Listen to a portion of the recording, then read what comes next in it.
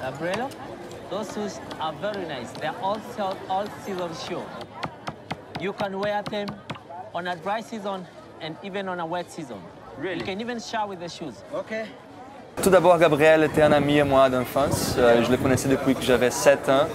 On a étudié ensemble dans, dans la même école. Quand il a, quand il a dis- il a disparu, et euh, ils, étaient, ils étaient en train de chercher son corps dans cette montagne au sud de Malawi, on avait beaucoup de questions qu'on ne savait pas les réponses.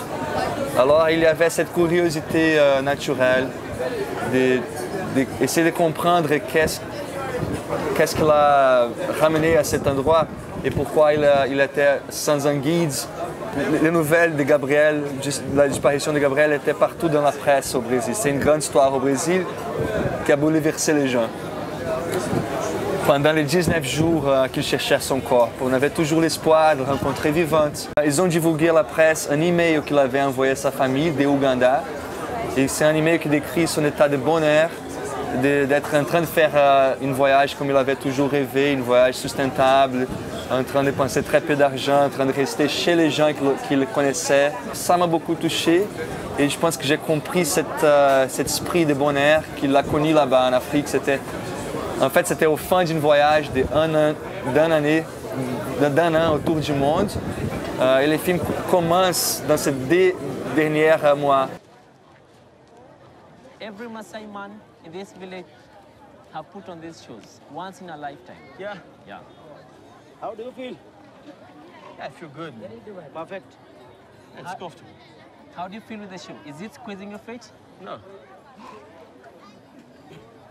You can walk with the shoe? of course. Run? Sure. Let me see you running.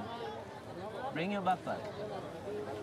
Faster than the fat Ronaldo, my friend. Pour tourner, le dispositif était ça, qu'il fallait tourner dans les vrais endroits où Gabriel était, avec les vrais personnages qu'il avait rencontrés.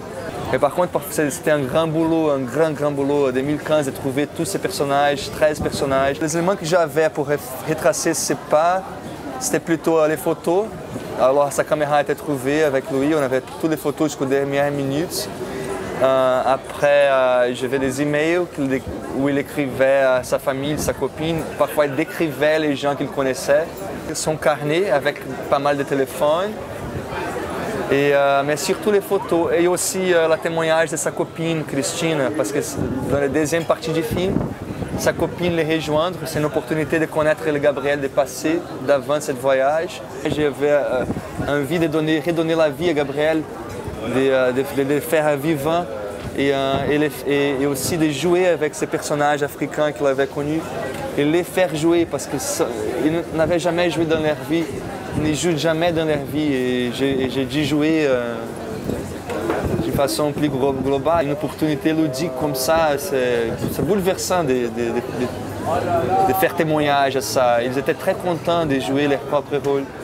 Et je pense que c'est ça le but finalement, de les faire jouer euh, et à travers Gabriel, de faire une petite cartographie de l'Afrique à travers, les, personnages qu'il a rencontrés.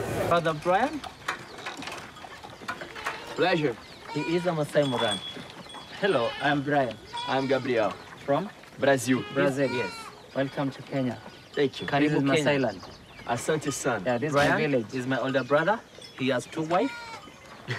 yes, Yes. it's normal in Maasai land. Even I want to add more, one more. Plus Yeah. eight kids. Eight kids? Yes. And having kids in Maasai land is an investment. Really? Yeah, it's wealth. It shows how wealthy you are. So the more kids you have, the more wealthy you are. Can you imagine that? Yeah. In Brazil, it's the opposite. How many kids should you have in Brazil? No, the more kids you have, more money you have to spend to. no, it doesn't happen like that. On a un compositeur, compositeur français qui s'appelle Arthur euh, Gillette. Il euh, vient de la bande euh, Moriarty en fait. Euh, et, lui, il a vécu beaucoup des années en Afrique de l'Ouest. Alors il avait cette influence dans lui. Il a décidé de faire un score surtout avec les voix.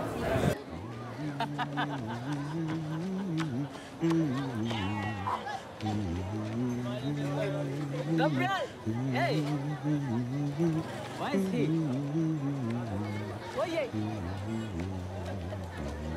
La première fois j'étais ici, c'était en 2006, alors ça fait 11 ans. Euh, j'étais euh, très jeune, euh, j'avais 25. J'avais, euh, il, y avait, un film à la semaine de la critique, de lequel j'étais à deuxième assistant réalisation de cette même année. Alors c'était euh, une belle opportunité d'y être euh, pour, euh, et, pouvoir partager ces moments avec Kirill Mikhanovski, le réalisateur de Sonhos de Peixe, qui en fait est un des, deux co-scénaristes de ce scénario qui est là, Gabriela Montagne. Alors c'est un cycle qui euh, c'est complet. Je me suis dit en 2006, hein, quand j'étais ici avec Kirill, que je ne retournerais pas à Cannes sauf si j'avais un film. Et là, ça se passait. Et euh, oui, euh, je suis très fier de l'équipe, euh, de, mes comédiens, de mes producteurs et de moi-même.